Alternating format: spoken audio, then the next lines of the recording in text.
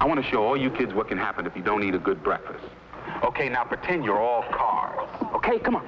Can I be a bus? Okay, you're a bus. All right, now you're all driving down the street, just so cool. Hello. Hello. And all of a sudden, wham, bip, you run out of gas. And you know what? That's just what can happen to you in the morning if you don't eat a good breakfast. You can start slowing down and getting droopy.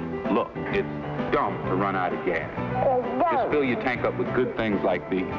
Fruits like grapefruit, a peach, or juice. And then have some other good things like waffles, bacon and eggs, or cereal with milk, a sliced banana, some toast. You know, a good breakfast can help you drive through the whole morning.